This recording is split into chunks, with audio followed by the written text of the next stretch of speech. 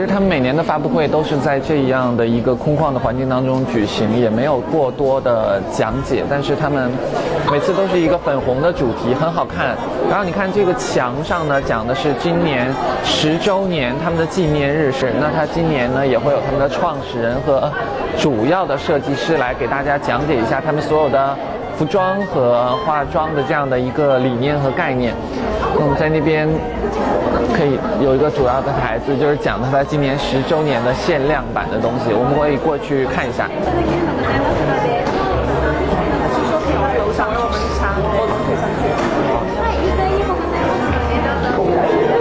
现在这些呢，全部都是今年十周年的一个限量版的产品。可以看到他们家的慕斯的腮红，很美的颜色，完全是那种慕斯的质地，非常淡。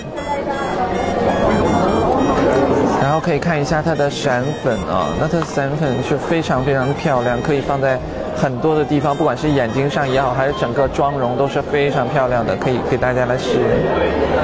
可以看一下，非常的漂亮。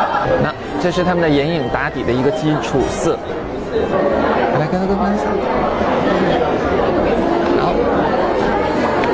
那现在这边我们可以看到，它有一个阶梯型的，好像是讲了整个品牌的十周年的一个历史，从一层一直到十层，每一层都是每一年推出的所有的限量版产品都放在这边。